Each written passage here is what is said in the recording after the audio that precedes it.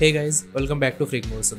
In today's video, we are going to recreate this intro animation inside of After Effects. Thanks to those guys who suggested me to make this video. So without wasting any more time, let's jump into the After Effects and let's get started. So basically this is the intro animation. There are 4 slides of the text animation and all of them using the same technique, just in the different direction. Alright, I have already recreated 3 of them and I will show you the last one. Don't worry, I will explain in such way so you can recreate all of them on your own. I'll share the fade out technique also, so make sure you keep watching till the end of the video. This is the last slide and I already make a composition of this. Inside this composition, you can see there are only two layers. One is the text layer and one is the rectangle shape layer. Let's animate the shape layer first. All the animation will be starting from the 1 second duration. I will tell you the reason later. Now open the shape layer, open rectangle 1, then open path 1 and convert this path to Bezier path. After that you can move this corner point like this. Now go to the 2 second duration and add a keyframe on the path.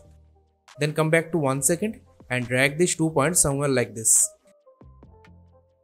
So this is a basic path animation you can see the output here.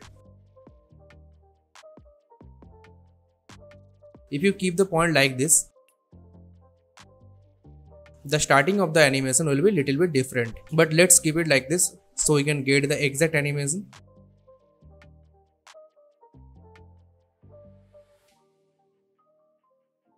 Alright, let's animate the text.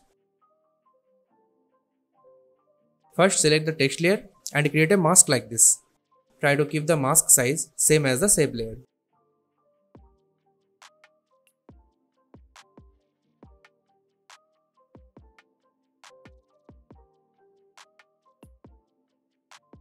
Now open mask property and add a keyframe on the mask path at the 2 second duration.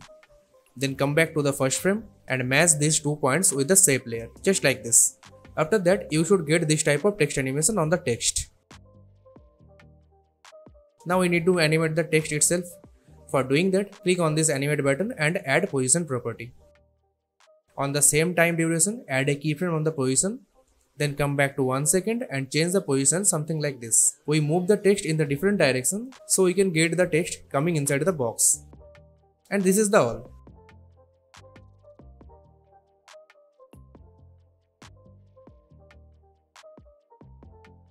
Now select all the keyframes and easy ease them. Open graph editor and make sure you are in the edit speed graph and change the graph curve something like this. So we are done with the animation inside the composition. I show you the animation of the right side slider. For the left side slider, you just need to animate the shape and the text to the left side. That's mean you just need to do the vice versa of the animation. In our original animation, we can see these little bars at the beginning. That's why I did not drag the mask all the way to the end. Alright, once you're done with all the 4 slides, first you need to arrange the way you need. And if you see at the end, the slides disappearing in a different way. For doing something similar to that, first make the composition a 3D composition. Then change the anchor point something like this because this is going to fold in the left side. For right side, you just need to place the anchor point to the right side. Rest all the steps will be same. Now open position property of the composition and place the composition somewhere like this. Now add a keyframe on the position on 1 second, go forward to 2 seconds and change the position something like this.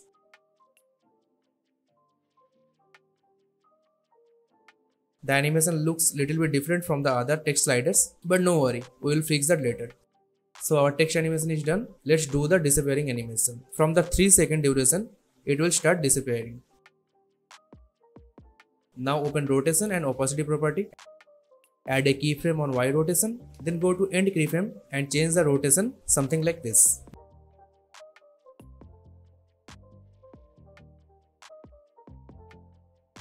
Now here, add a keyframe on the opacity, then at the end frame, change the opacity value to 0. So it completely disappear at the end. Now select these keyframes and easy ease them and change the graph curve something like this. Now we can see it's looking similar to the rest of the text animation. Also easy ease this keyframes and change the curve something like this. Everything is same for all the text slides, difference is only the anchor point position and the direction. As I told you, I keep little bit space while I'm doing the save animation just because of this, just to match the original animation. So this is all for this intro animation. For the starting part, I mean where the sliders comes one by one, for that you can offset the composition in that way. I just keep it as simple as I can. So this is all for today. I hope you like the video. Thanks for watching. See you guys in the next video. Till then have fun and stay safe.